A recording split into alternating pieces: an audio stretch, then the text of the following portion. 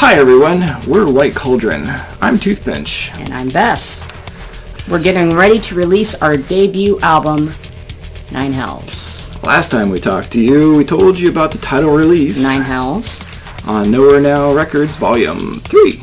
Now we're about to announce the release of the single, Dirty Streets. Yes, so this Saturday, June 20th, Summer solstice. right? Um, it releases on Bandcamp, Spotify, and, you know, Apple Music, and, and those other things. Yes, just go on over there and pre-save it. You'll notice that our production company is listed. Airkill Media. More on that in the future. Uh, absolutely. We were recently featured in Regen Magazine.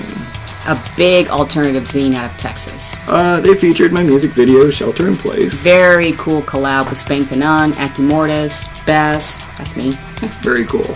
So tell them more about some of your other projects. Uh, so, well, a very important one. Um, just uh, remixed one of your songs. Yes, Trabiation for my brother. Yep. And you got some plays on a show for that one. Yes, with DJ Asura Sunil's Sunday 7. Cool. And I've worked on a number of Spank the Nun remixes that are on pre-order now, at least at the time of this taping. We worked on the track Now Crazy Ass 2020 about COVID 19, George Floyd, despair. And I composed that on Maschine, just kind of fiddling. Um, we recorded and we basically created it improvisationally. Did the vocals just impromptu and you created the tracks and boom, it just came together. Yeah, it was fun. Plus, I released Lords of Dust. You're going to release a new EP later this year, right? Uh, yeah, uh, three songs on Nowhere Now Records. That's really good stuff. I especially like Love Story. We've got a lot going on. The biggest excitement, though, is the release this Saturday. We even sent it off to some pretty influential record labels. Yeah, it'll be downloadable on the 20th from Bandcamp. And streamable on Spotify.